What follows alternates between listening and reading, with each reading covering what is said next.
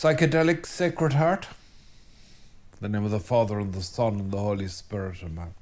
You're very welcome to the Brendan option coming to you courtesy of Immaculata Productions. I'm Father Brendan Kilcoyne. If you like our work, would you hit the subscribe button? If you want to send us a few quid, use Patreon or PayPal. Keep the constructive comments coming and remember that the comments help the algorithm. And um, above all, remember us in your prayers. Psychedelic Sacred Heart. For years, I knew nothing about the Divine Mercy devotion. Didn't trouble myself to learn about it. But I was struck by these pictures that you would see coming up to novenas or that kind of thing on lampposts and uh, the like by the side of the road. And I remember thinking that that was a, a very, uh, it was a very uh, kind of lively take on the Sacred Heart. Uh, I grew up in a house which like every Catholic house at the time, had a picture of the Sacred Heart over the fireplace. And the Sacred Heart picture, traditional Sacred Heart picture itself, is, I suppose, a gaudy enough affair. Benedict Groeschel, I remember, the late Benedict Groeschel, Father Benedict, explaining that, in fact, that depiction of the Sacred Heart is pretty much originates with a devotional uh, reproduction art a Catholic pious art of, uh, in America in the 19th century. I think he said Kansas. There was some printers in Kansas. But in fact, uh, Margaret Mary Alacoque didn't quite see that. She she saw a heart, yes, you know, in, in, encased in or surrounded by, by thorns and all the rest. But it wasn't wasn't like the Sacred Heart picture, which is a bit of an, an artist's elaboration. Well, the picture of the Divine Mercy was not invented by somebody in Kansas, and I'm sure Kansas is a fantastic place. That's pretty much what Faustina saw. Now she had problems with the paintings, and I'm not going to go into the diff- the the different paintings. Okay, I'm not going into them, but ultimately, I don't think any of the paintings she felt did credit to what she saw. You know, I don't think. I think the Vilnius one was maybe a bit closer, yeah. But they just didn't do credit to what she saw. They're still they're still lovely things. And they make the point very clearly. And so you have those rays coming coming forth and you have this tremendous sense of of the the bubbling uh, laver of God's love for us the the the welling up of the living water in the heart.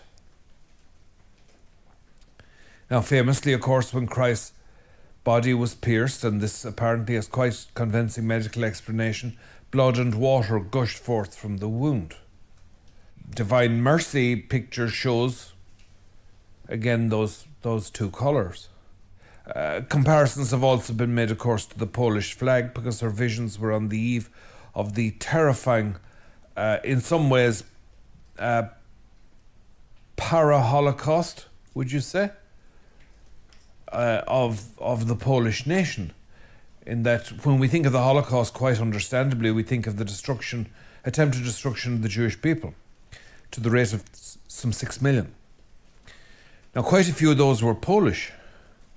And then you had many Polish Catholics, priests, teachers, the like pretty much anyone who could give trouble. Killed on both sides. You had the the infamous uh, the Katyn massacre of the Polish officers by the NKVD, the Soviet secret police.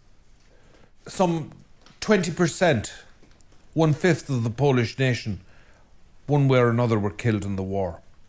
One fifth of the Polish nation were killed in the war. Now that's. Uh, that's a Holocaust. That's a Holocaust. Yeah. And of course, many of them in the Holocaust that we think of, the destruction of the Jewish people, but also many of them killed in the course of that Holocaust because the Nazis um, uh, were, in a way, like they were like um, mink. They were ideological killers. as were the communists, to whom they were closely related. They were killers. Yeah, pure killers. Stone cold killers. Natural, as it were, ideological natural born killers. And so these visions of Faustina are not some fairy tale, uh, syrupy, um, easily won piety. This is an assurance that is made in the in the in a chiaroscuro, in a play of light and shade that that that is immensely ominous. This assurance, and yet the assurance is powerful, direct and definite. And what does the Divine Mercy devotion tell us? Is that uh, the Father has accepted, as the Church knew this, we're reminded again, it's rehearsed. The Father has accepted the sacrifice of our Lord Jesus Christ on the cross. It is done. Behold, I make all things new. We are forgiven. If we choose to be forgiven and the horrors that were to unfold in Eastern Europe and elsewhere were an indication that mankind does not always choose to be forgiven, and in fact, often doesn't choose to be forgiven. Now, I need hardly point out to you that our Divine Mercy Sunday is occurring in the context of uh, an ongoing Holocaust in the world of children, a beginning and slightly increasing Holocaust of elderly people in some of the most advanced countries in Western Europe. And a belated but very spirited beginning of a Holocaust here in Ireland. Over 20,000 children now dead. And talk of euthanasia, which I can assure you will be more than talk in the end. Killers.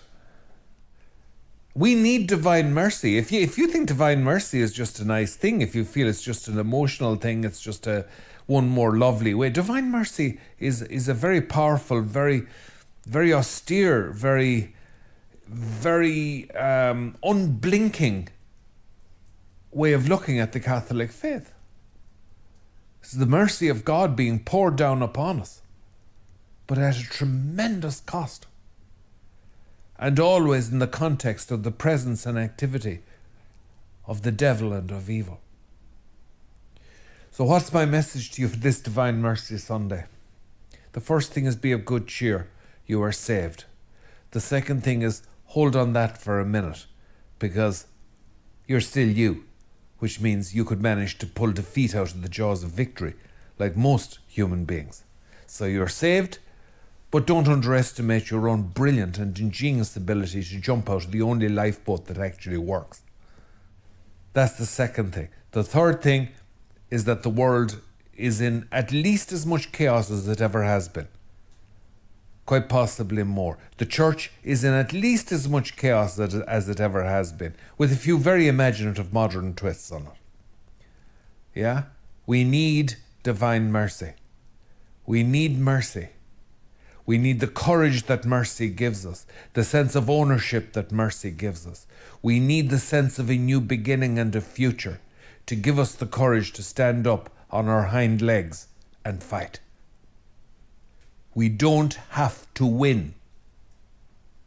I'm sick and tired of hearing people saying nobody will listen, you can't turn the clock back, the world the world won't change, the world won't listen. Do you really think the church is so stupid she didn't know all that? Yeah? You don't have to win. He has already won. But you must participate in the sacrifice, participate to participate in the resurrection. You must step into the whole thing. Divine mercy. Now you get that down you. It'll do you good. Hmm? You need a more psychedelic faith. Believe me, there's going to be a lot of dark out there. The more colour, the better. In the name of the Father, and the Son, and the Holy Spirit. Amen.